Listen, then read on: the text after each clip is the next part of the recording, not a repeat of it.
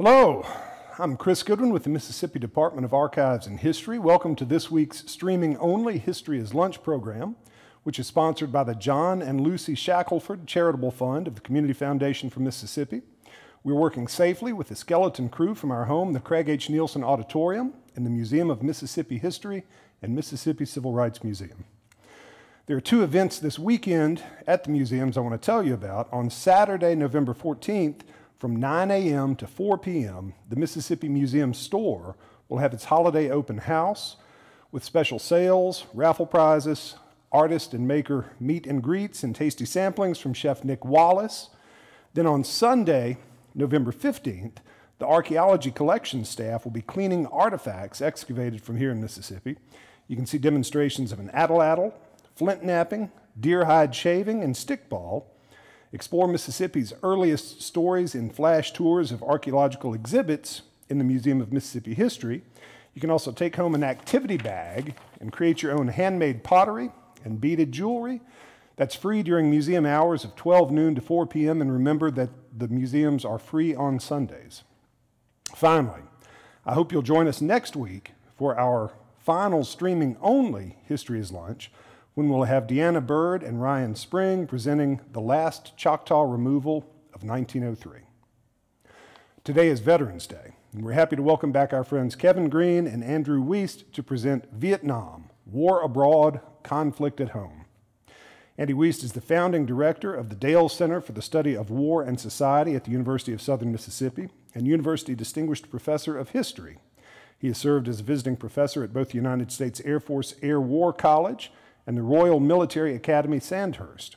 His best selling book, The Boys of 67 Charlie Company's War in Vietnam, was made into an Emmy nominated documentary for National Geographic Channel titled Brothers in War. Wiest won the Society for Military History's Distinguished Book Award for his Vietnam's Forgotten Army Heroism and Betrayal in the ARVN, and a New York Festival's International Gold Medal Award for the documentary Vietnam in HD. He holds a BA and an MA from the University of Southern Mississippi and a PhD from the University of Illinois Chicago. Kevin Greene is a fellow at the Dale Center and associate professor of history in the School of Humanities at the University of Southern Mississippi, where he is the director of the Center for Oral History and Cultural Heritage. Through the Dale Center, Greene is principal investigator for the Mississippi Oral History Project, a research initiative funded by the Mississippi legislature to document Mississippi's culture and heritage in the 20th and 21st centuries.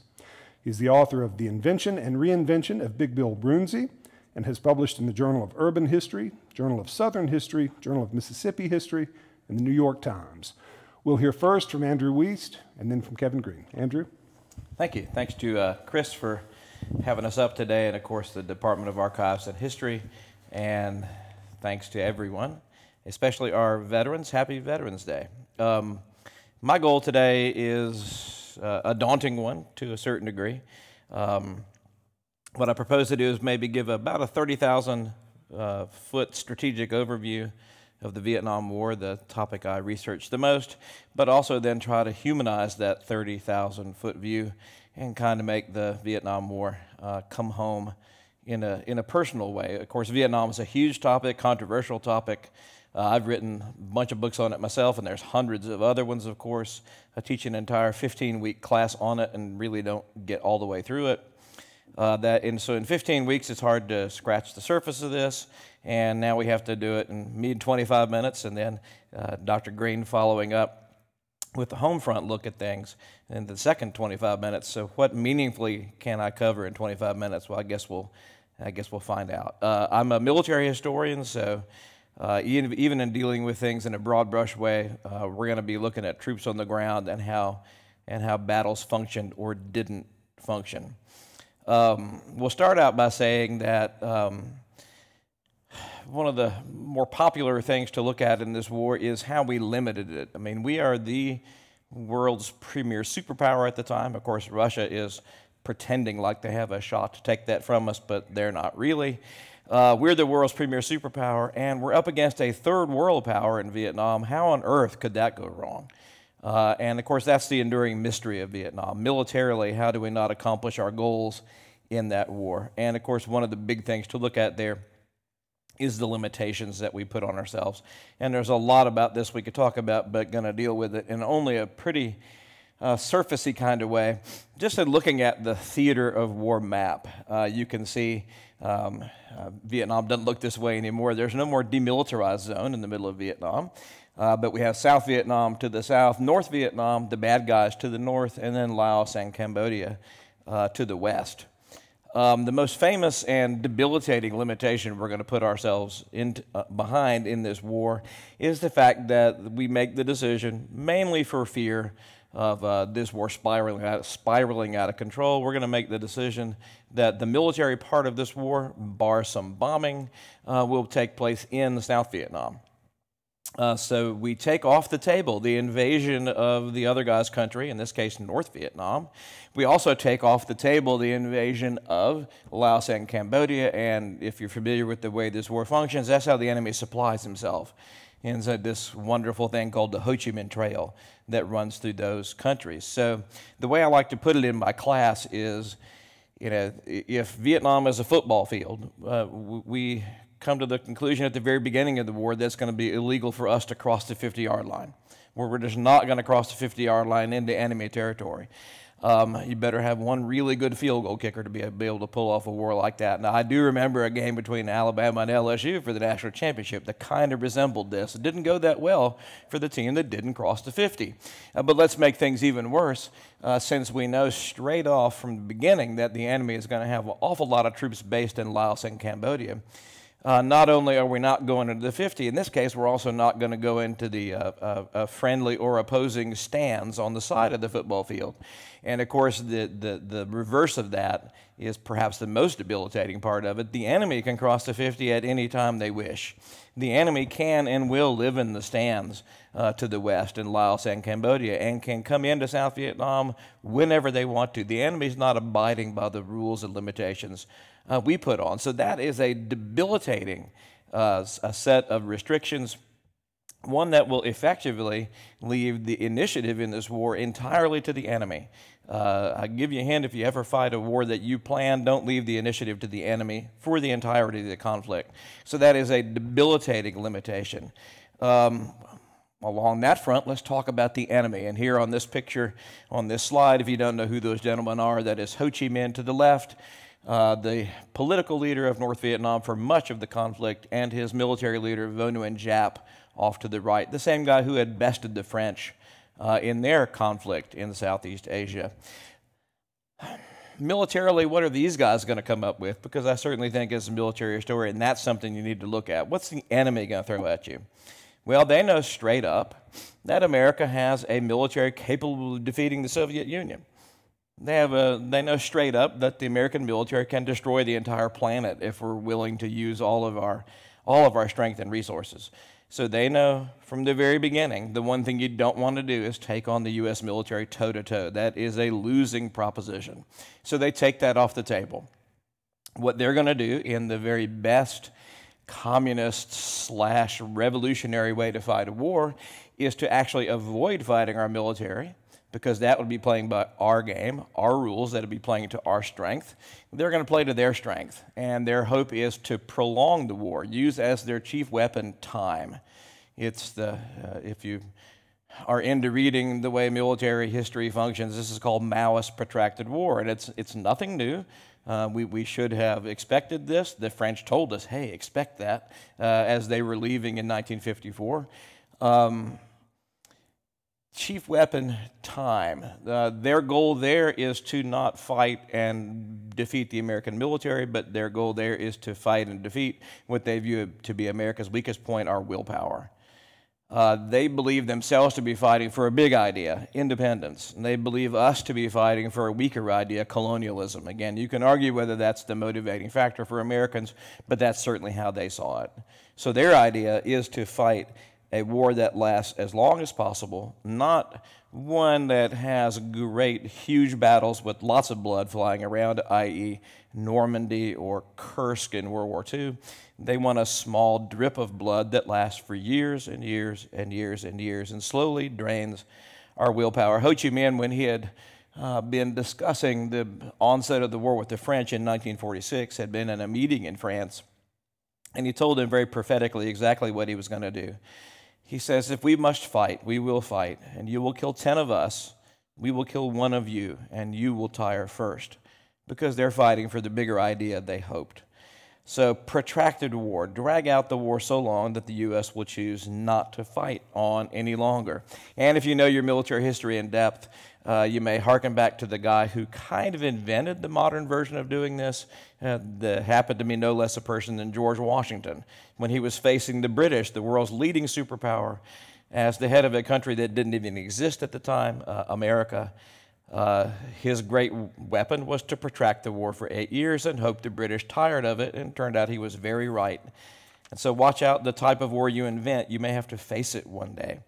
So, we're limiting ourselves to the South Vietnamese geography. That's the only place we're going to fight, except for some uh, curtailed bombing. And secondly, we're facing an enemy that has a pretty good idea how to upend this war and fight it in a different way. Well, now you are this guy. You are General William Westmoreland, commander of U.S. forces in Vietnam.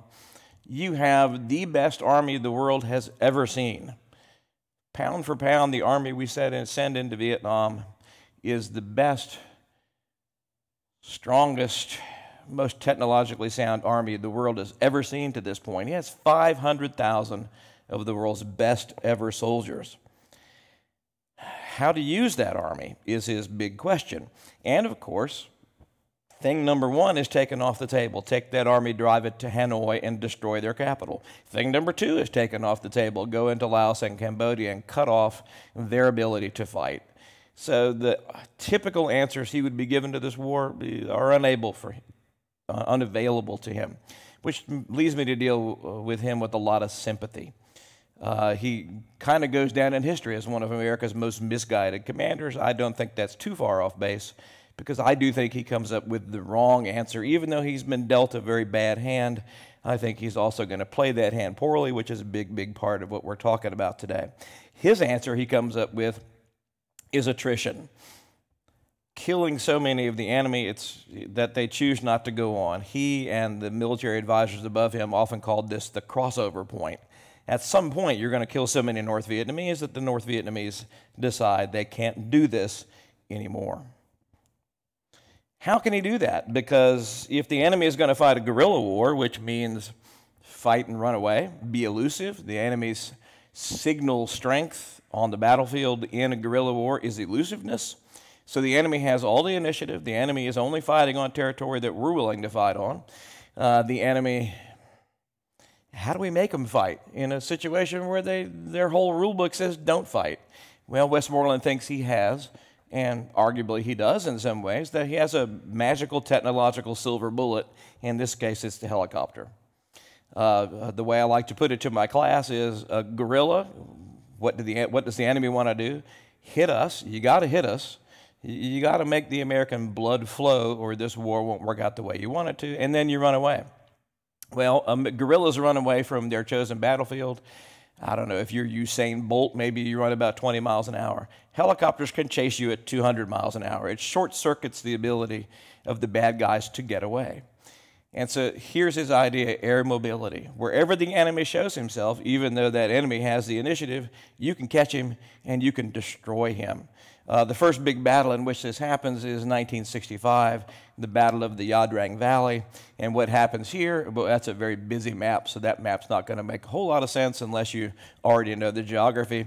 But what happens here is the enemy uh, jumps a uh, U.S. base, a U.S. South Vietnamese base at Plei Me They cause us some damage, and then they run away. If you see all the way to the left of this slide, they're running away to Cambodia where they'll be safe. Uh, we chased them with helicopters and we hit them at a place called the Chu Pong Massif, which you can see now at the bottom left of your map. And essentially, we hit two entire regiments of North Vietnamese soldiers uh, with a couple battalions and only bits and pieces of battalions of American soldiers. We do lock them into battle. Uh, we do, over a three day battle, uh, lose about 200 of our soldiers, killing about 2,000 of theirs uh, which is a number that Westmoreland thinks works out very well because the attrition seems to have worked out great. Of course, the enemy also gets a vote, and when they want to do this again, the enemy in this battle figures out, hmm, here's how you fight against American helicopters. You don't do it. You, you, do, you just continue running across the border. What we see here is that Westmoreland thinks he's got the right answer. Also, if you want to back up, I'm to see if I can actually back up slides. Looky there. Uh, those guys think they have the right answer too. If both sides think they win a battle, somebody's wrong. And in this, in this point, I would argue it's Westmoreland who's wrong in this battle. What he decides to do after this is make this battle happen again as many times as he can. Uh, what they decide to do after this is make sure this battle never happens again, that they never cede their, um, the, the, their initiative a couple other things that happened in this battle.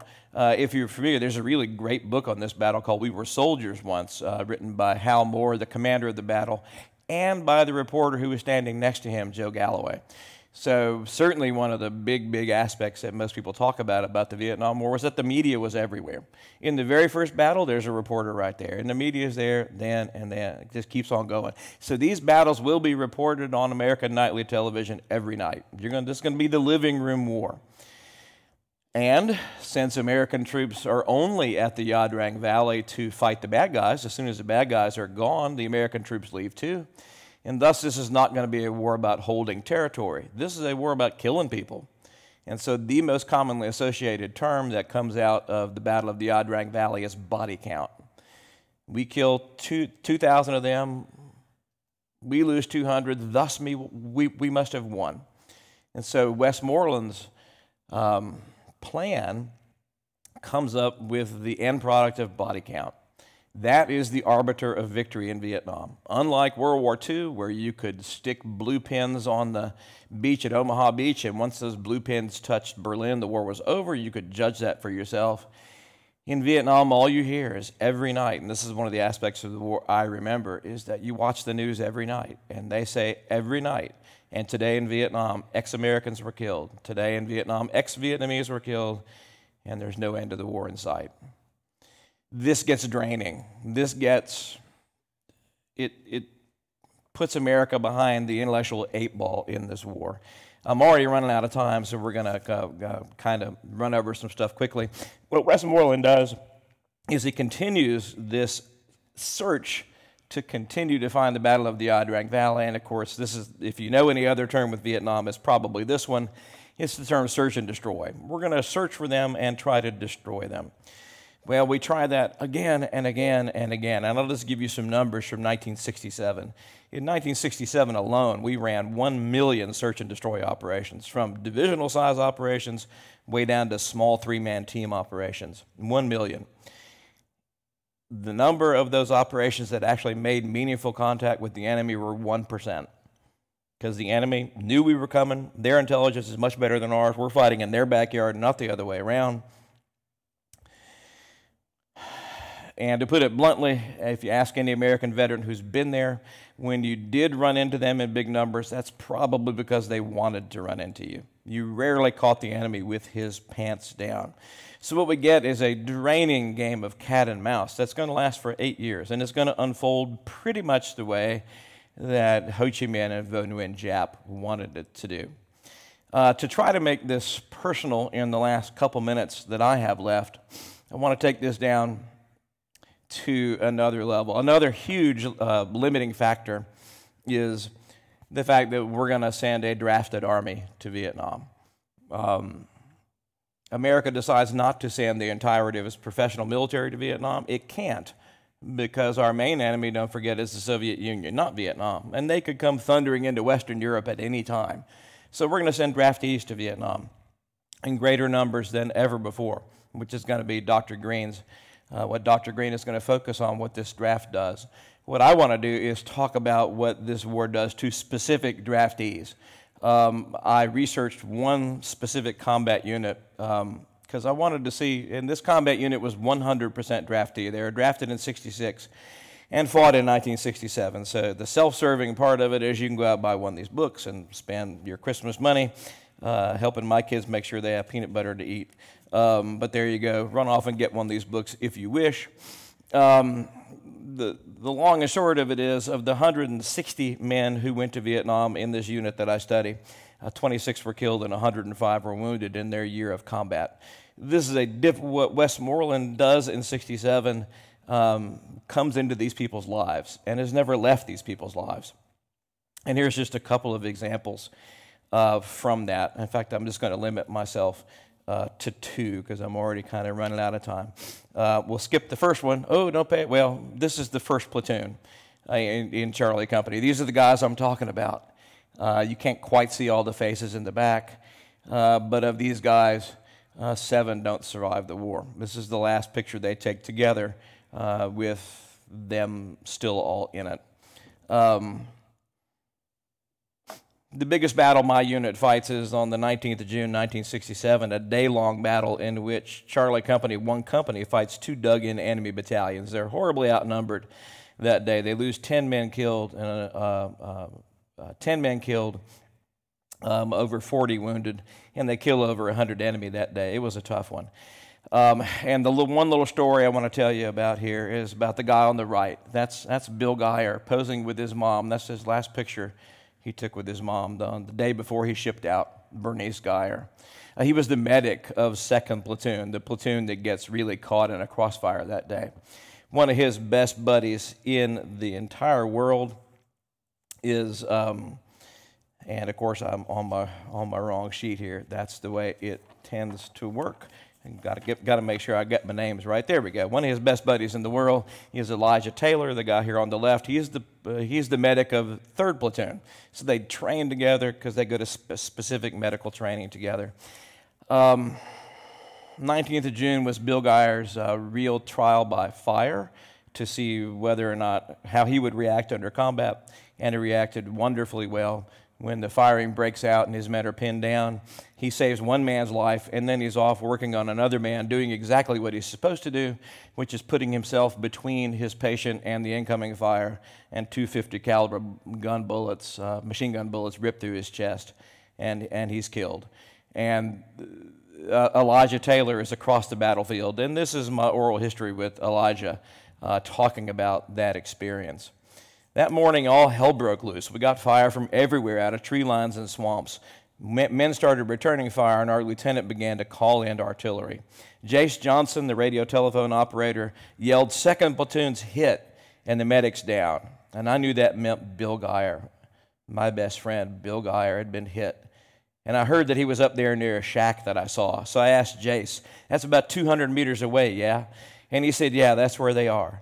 And so I started taking off my stuff. And he said, Man, what are you doing? I said, I got to go help second platoon. I got to go save Bill Geyer. You got to go across that open rice paddy. And I said, Yeah, I know. By that time, Lieutenant Hoskins had gotten the information that I was going across, and he came over and said, Doc, I can't order you to go across that rice paddy. It's too dangerous. I said, Yeah, Lieutenant, but second platoon's down. Geyer's down. I got to make it across there. I Got to save my friend. And he said, Okay. Those buggers waited until I was out in the middle of nowhere and they just opened up on me like nobody's business, but never did I think about going back. I just had to make it to that shack. So, what I would do is run for about 10, 10 or 11 meters and get down. Finally, I got there and there were wounded guys all around. Some had no hope, so I just prioritized. Some of the guys were already dead. Then I found Geyer. He'd been hit twice in the chest with entrance and exit wounds. I was leaning over him, talking to him.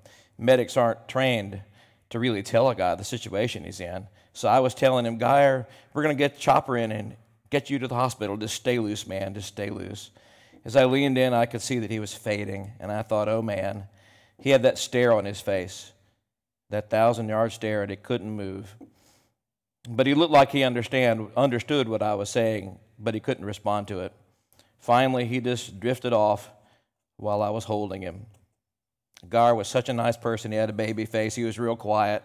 He was just a nice, likable fellow, a nice kid who got caught up in the draft and he got killed doing his job. And that's all I can say right now. Um, another uh, person I interviewed was Bill Geyer's brother, who was five years younger than him, who had idolized Bill. And this is just a little quote from him. That day in July 1967, I answered the door, and there were two military people standing there. It was devastating. There were two well dressed officers on the front porch in our, in our, at our home in Maywood, Illinois. I got mom and then ran upstairs crying, bawling once I'd established what was taking place. My mom had to call my dad back from work. The news set him back for years. I don't know if he ever really shook it. He and Bill had been so close. He was depressed for a number of years. It didn't get to the point where he couldn't function. He still carried out his obligations to the family, but he just lost all his vigor there for a number of years. My mom had raised us very religiously Catholic. We all had a good foundational base of faith, and I think that's what carried us through. The last story I'll tell before I turn it over to, uh, to uh, uh, Dr. Greene is just another very personal story and uh, what the draft and war does to real people. And this is Jackie Peterson. This is Jackie's uh, graduation picture. She graduated in 1965. Uh, she was a cheerleader and had fallen in love with the captain of the football team, uh, uh, Don Peterson. Had a stormy uh, high school romance. They were the couple that always fought and then dumped each other, but always found a way to get back to each other. but it was that love everybody knew was gonna was gonna make it um, they got married right after high school, and uh, Jackie uh, uh, got returned from the doctor with her positive pregnancy test the same day that Don received his draft notice. So he had his son uh, quite literally a day before he shipped out. He got a chance to hold that baby one time before he shipped out to Vietnam. And uh, Jackie's last words to her husband were, uh, Don't be a hero um, we need you to come back to us. Our family needs you. But if he knew anything about Don Peterson, Don Peterson was a hero. In May of 1967, his unit was cut off and surrounded, and his buddies were dying, and he jumped up to give them cover while they all got away, and he was hit in the chest uh, and killed. Um, sadly, uh, he was killed on Jackie Peterson's very first Mother's Day. She doesn't find it out until the next day that he's been killed, but she was now 19 years old with a six month old son, and was now a war widow. Um, and the interviews with her were perhaps the most difficult interviews I had to conduct. And uh, she, she wrote me an email because one of the reasons they were difficult was that she'd always resisted finding out how her husband had died. And so she found out the details of his death through the, the writing of this book, which was uh, pretty tough to take. But once she had come to grips with the whole thing, she sent me the following email. Uh, these interviews have not been easy for me and have started up all the nightmares again. All the sadness has returned. This is 40 years later.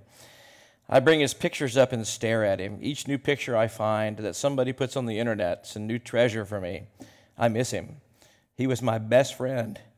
We had great plans. He was the man of our little family, and he was doing such a great job. To this day, I resent having to play out this thing called life all by myself without him. It's just not fair. I found later that I'd transferred all those feelings I had for Don to the next person I met after his death. Somehow I felt I deserved being treated badly for letting my husband die. And to me, that's the most meaningful statement in the whole thing. She's a, an ocean away but she felt she deserved being treated badly for letting my husband die. I realize now why I did the things I did, made the choices I made. I realize now that the thrill of having a relationship like I had before is gone, of the complete contentedness I had at least for a short period in my life. In a little corner of my heart, I'm so sad that I'm all alone.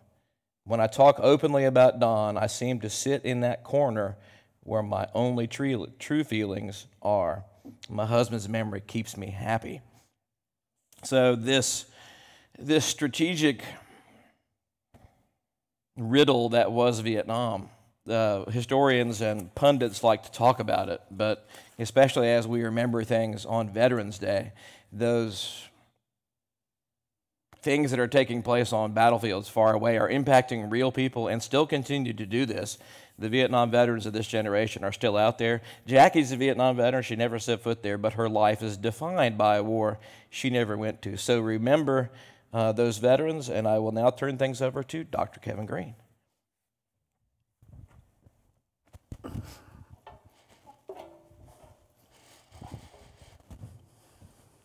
All right. Well, I'm going to jump right in.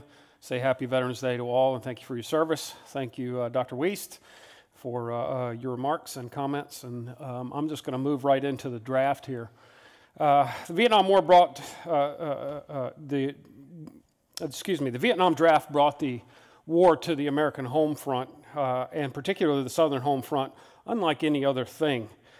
During the era between 64 and 73, the U.S. military drafted about 2.2 million American men out of an eligible pool of 27 million. About only a quarter of those uh, uh, of the military force would actually see combat and combat zones were, in fact, draftees. But American conscription caused a lot of different things, uh, uh especially for young American men uh, uh, reaching of that age, of the draft age. Some chose to, to volunteer so they could choose where they were going. Some folks left for Canada. Some folks sought deferments um, with wealthy parents. Some folks sought refuge in the National Guard and, and the like.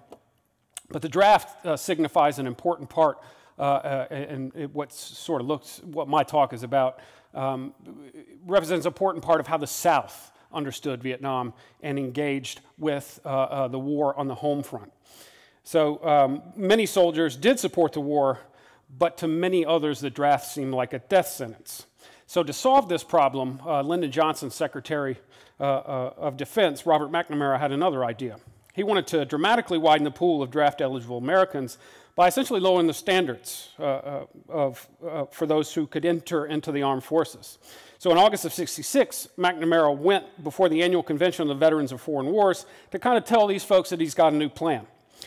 And he promised to salvage some 40,000 draft rejects and substandard volunteers, most of them from poverty encrusted backgrounds and rural areas in the South, and the ensuing uh, uh, uh, uh, result was what became known as Project 100,000. And it became, in some ways, uh, a, a, problematic uh, piece for the draft and, and, and, for the future of the war. And it starts this kind of long history in associating the draft and the problems at home with the draft on the home front. Uh, McNamara noted that the military rejects 600,000 young men a year for failure to meet the minimum standards. And if we can tap into some of those folks, we'll have a good opportunity and we'll, have, we'll, we'll at least be able to increase some of the numbers. And there were plenty, uh, plenty of young people out there who weren't protected by student deferments but had flunked the military's entrance exam, the Armed Forces qualification test. If the standards for passing the test could be lowered, McNamara thought, tens of thousands of previously unqualified men would suddenly be available for military service. By 1969, 246,000 new standards men had enlisted in the Army, including 92% of who were accepted because of lowered mental standards. My own, my own father was a part of this program. He, would tell, he always told me I was too dumb to go to Vietnam. It's like I, I never understood that until I started to, to, to teach and research in that area. These folks would account for 10.7% of total recruits from October of 66 to September of 69. Anti war activists viewed the draft as immoral and the only means for the government to continue the war with fresh soldiers. Ironically, as the draft continued to fuel the war effort, it also intensified the anti war cause. The selective service deferment system meant that men of lower socioeconomic standing were most likely to be sent to the front lines. No one was completely safe from the draft, and almost every American was either eligible to go to war or knew someone who was. Of the 11 southern states, we're going to uh, uh, include Kentucky in there too, uh, provided about 30% of the soldiers who served in Vietnam, even though the South was home to 22% of the nation's population.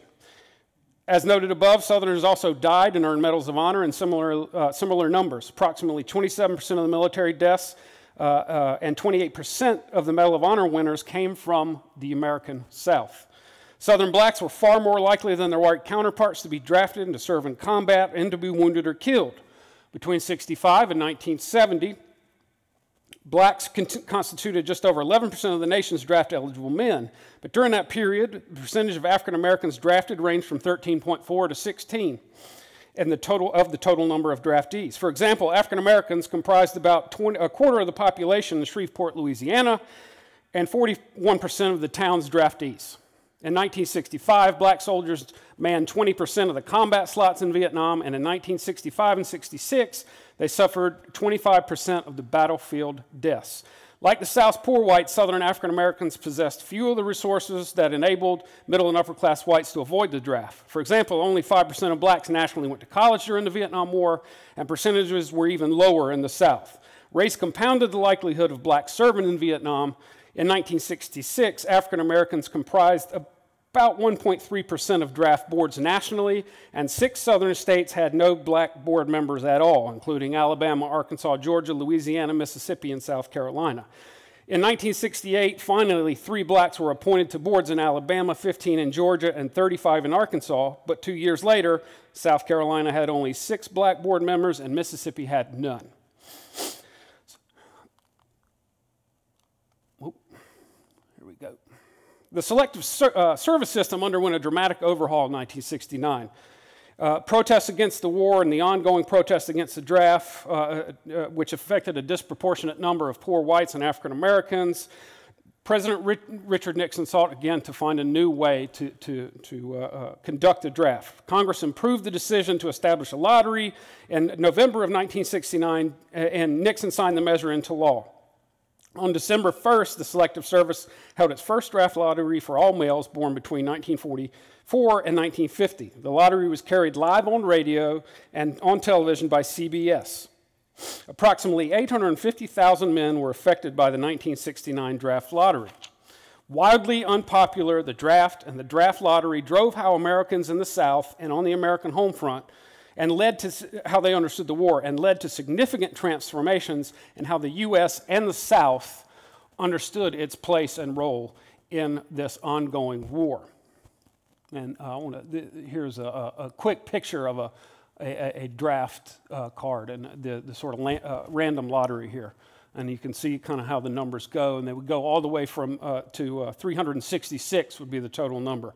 So here's this drama fo- uh, unfolding on radio and on television as we move into this particular period of the draft. I want to move away from the draft a little bit to talk more about uh, Southern politics during this particular period and uh, really drill down and look into one of our own in John C. Stennis and his role uh, uh, the escalation and the, ongoing uh, um, Vietnam War and as, as it grows from a, a very mild situation in the mid 1950s to a full blown war within uh, a decade or more. Elected to the Senate in 1947, veteran Mississippi pol- politician John C. Stennis along with Richard Russell, Democrat of Georgia, and Harry Byrd, Democrat from Virginia. Uh, they, they, sort of took him under their wing, and he quickly became a very powerful force in Congress. Of course, ardent uh, segregationist, uh, uh Mississippi uh, Democrat, longstanding Democrat, he took the seat vacated by Theodore Bilbo, if that gives you any kind of indication of where he's coming from. Uh, he quickly gained a reputation as a, very, a workaholic, a, a, someone who worked long hours, uh, knew how to uh, uh, maneuver in, in, and out of Washington within the Senate, and in a short uh, uh three or four year span, he became known as a senator's senator, a, a, really powerful force in the Senate and one that could be relied on. Following his appointment to the Armed Services Committee in 51, he took an increasingly active interest in national defense and foreign relations. His influence over national defense policy grew dramatically when, in 62, he became chairman of the Preparedness Investigating Subcommittee of the Senate Armed Services Committee. This powerful subcommittee exercised much of the Senate's oversight of the Defense Department and was empowered to investigate aspects of military affairs. Over a 10 year period from uh, 54 to 1964, a clear majority of the South's, and this is a, a, a great historian I'm, I'm, I'm, quoting here, a clear majority of the South's influential political figures in Washington had opposed committing U.S. military forces to, correct, to direct combat in Southeast Asia. While so doing, they developed arguments in favor of restraint against American military involvement. They also addressed, but offered, less consistent opinions on the executive office's foreign policy as it related to Congress, an issue that would prompt sharp disagreement that would challenge both Johnson and Nixon's assumption on the president's war making powers. John C. Stennis was a big part of this and how this starts to uh, unfold in the Vietnam period. By August of 64, well established Southern foreign policy ideas such as uh, personal and national honor, anti communism, partisan democratic po- poli- uh, political calculations, and then, of course, uh, Southern ties to other Southern politicians led these representatives like Stennis to kind of get to discard their caution in favor of what would become a national commitment to support uh, South Vietnam and oppose the North, Viet, uh, the North Vietnam and the National Liberation Front. So Stennis, his, what will happen is his approach will evolve during this entire period, especially as he becomes more and more uh, uh, powerful, shall we say, within the United States Senate. As it, uh, the, the situation began to con, uh, deteriorate even further by the mid 60s, Stennis concluded that if the U.S. were going to be effective, it would have to take over command. He arrived at this position, one, one he opposed in 54, but by the time we get to 1965, as he told uh, constituents in Meridian, Meridian, Mississippi in May, there was no quick and easy solution to the Vietnam problem, and U.S. involvement will become even greater before we reach the end of the trial. Stennis, like most Americans in 1965, couldn't possibly understand that this little country uh, in, in Southeast Asia, that we wouldn't be able to impose our will upon them. Meanwhile, things became more turbulent for the presidency of Johnson. He was in, uh, uh, engaged in his, uh, uh, and here's Stennis talking with Bob McNamara. Um, and then here is Stennis with uh, President Johnson. As he became more and more engaged with his Great Society programs and civil rights legislation, um, many of these uh, Southern conservative senators took it as an opportunity to shift their focus away from support of Johnson uh, and his Great Society programs by favoring a all-out approach to the war. So as these society programs uh, became a big part of the Johnson platform, quote, Johnson feared that deserting the woman I really loved, the Great Society, for that bitch of a war, unquote, would result in losing everything at home. In late 64, he predicted correctly, that is Johnson, quote, those damn conservatives are going to sit in Congress and use this war as a way of opposing my legislation. People like Stennis don't want to help the poor and the Negroes. They'll take the war as their weapon and argue that beating the communists was the first priority. But if beating the war impeded domestic reform, losing it would assuredly doom these measures by provoking an endless national debate. And that's something that actually did take place. So one of, the, one of uh, uh, uh Stennis's favorite, or, or favorite lines or, or catchphrases here is that at some point, given these great society programs and civil rights legislation, the United States is going to have to choose between guns and butter. Ironically, many of Johnson's most dependable Southern backers at the beginning of the war, like Stennis, were also among his harshest critics of the Great Society programs. As one historian has said, the South's established opposition to limited war and the rising demand for more aggressive bombing in North Vietnam became the reasons for the South's negative evaluations of Johnson's performance as a commander in chief. The South's disapproval of domestic programs reinforced this Uh, uh, perspective uh, and uh, kind of galvanized their negative look at his Vietnam leadership. For, for Southerners, his biggest misstep was to push the pace of African American integration way too fast. As a member of the SASC, or the Senate Armed Services Committee, Stennis had particularly close ties to the U.S. military and regularly represented the Pentagon's point of view on Vietnam.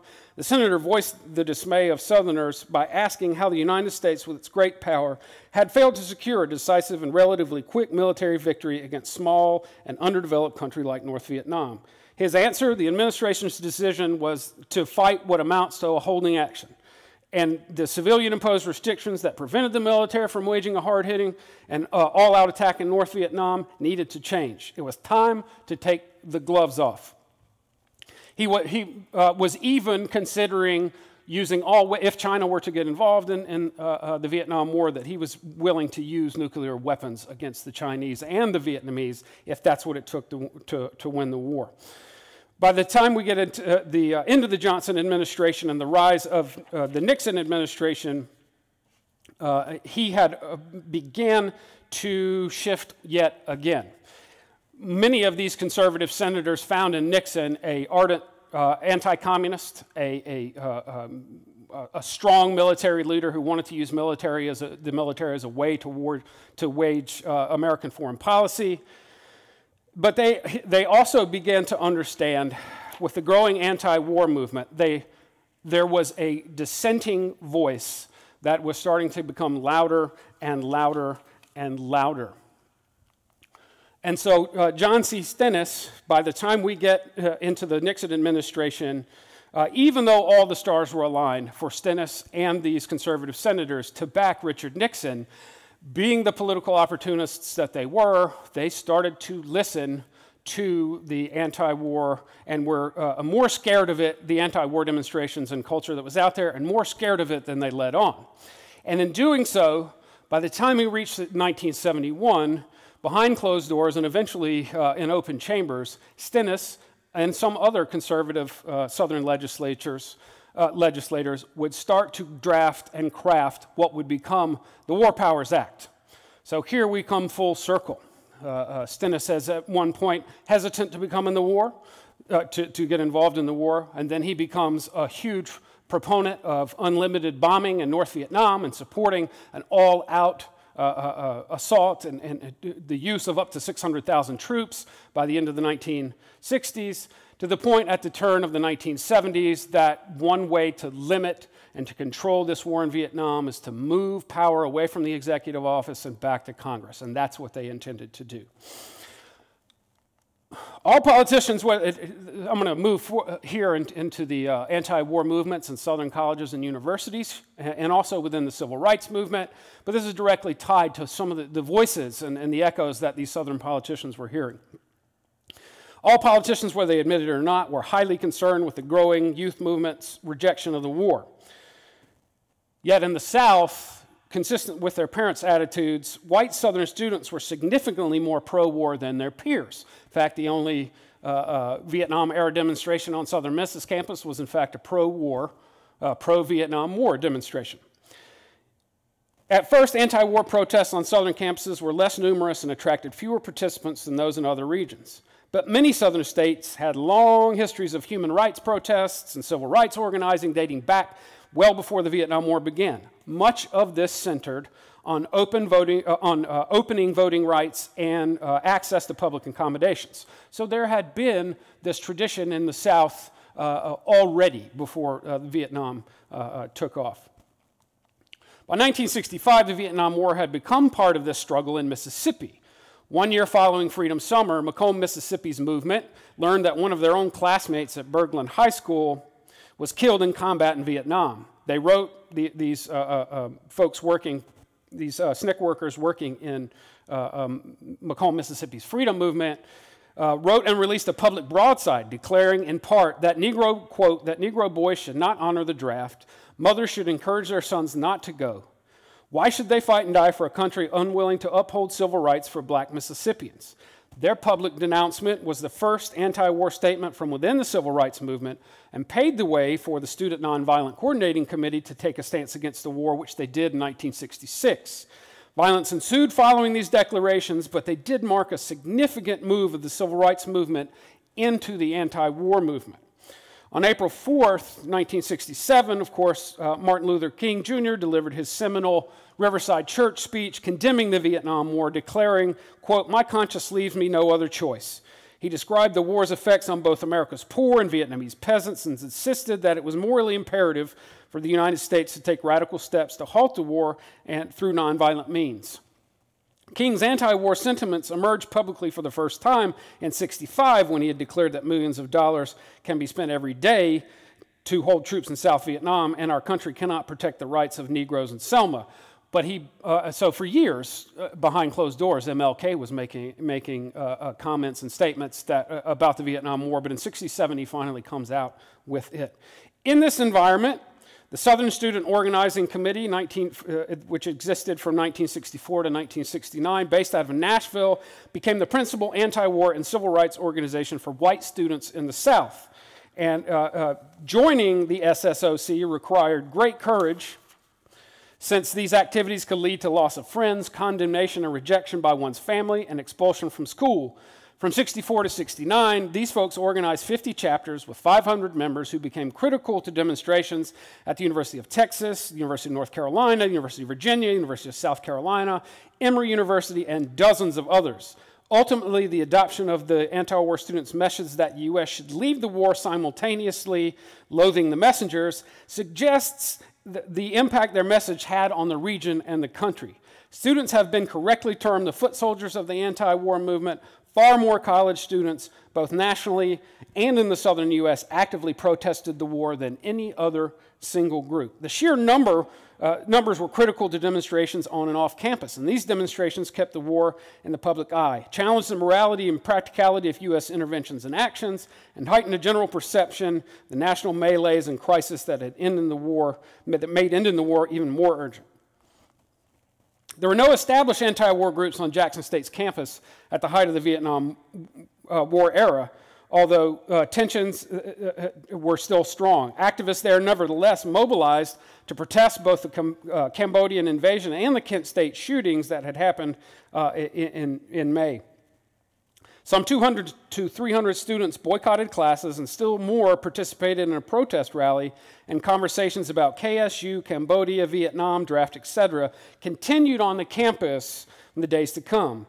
It was in the midst of this nationwide unrest that law enforcement opened fire on students at Jackson State uh, shortly after midnight, May 15, 1970. Uh, um, the all white Mississippi Highway Patrol uh, uh, uh, opened fire, and in one of the most notorious and difficult chapters in this city's history and in Mississippi's history. Uh, I know Nancy Bristow was here not too long ago, providing a, a good talk on her wonderful book, so I will stop that there. Um, so, it, indeed, the extent of student discontent in the conservative pro war South during 1969 to 1970 could only have served to intensify these beliefs. The American public, uh, the Nixon administration, and politicians like John C. Stennis had come to uh, expect student protests in Berkeley, Madison, and New York City, but not pitched battles in Columbia, South Carolina, where 20, or 20,000 marchers in Austin, Texas, or a week long strike in Charlottesville, Virginia. In many ways, uh, uh, the South um, magnified some of the, the larger national issues associated with the Vietnam War and the Vietnam era, and it is often overlooked as a region that helped define politically uh, through the draft and also through student movements. It's a, it's a era that it's a region that's overlooked and how we understand that particular war. I've got about three more minutes, so I want to move on and uh, point out something here. Um, much of my talk today is uh, expounded upon in this great book by Joseph Fry, The American South and the Vietnam War. He raises a really fascinating point within this book, and one that I think, for those of you historians who are listening out here, we have a massive gap in Vietnam War historiography, in civil rights uh, historiography, and also in uh, um, African American history and historiography. And I, will tell you why. Um, this is Charles Brown, U.S. Army uh, uh, uh, 173rd uh, Airborne Brigade. He served in 1967 and 1968 and fought in the Battle of Dak To in Vietnam, uh, where he was awarded two Bronze Stars and received a Purple Heart for his valor and bravery and for his uh, service. Um, Mr. Brown is from Hattiesburg, Mississippi, and he realized as graduating senior from high school that he and uh, his family, who were, he came from a, a, family of veterans, that his temperament did not suit the Jim Crow uh, uh, world that existed in Hattiesburg in the late 1950s and early 1960s. He knew that if he were to get involved in civil rights organization, he would either wind up in jail or killed or both. So his path was a first uh, uh, uh, uh, train ticket out of Hattiesburg and out of Mississippi and into the United States military. For far too long, I would argue as a historian, that we have uh, ignored the countless African Americans who joined during the civil rights period across the 20th century, but particularly the post Brown period all the way through the Vietnam War era, who joined military service in so many ways exercising their own civil right to escape Jim Crow, to escape poverty, to escape the trappings of racism. And we know so little about these individuals. It's high time that we began some serious study to look at collectively organizing and investigating those who exercised a fundamental civil right in serving their own country to escape poverty and Jim Crow racism. So at this point, I'm going to stop and we will take questions from uh, the audience.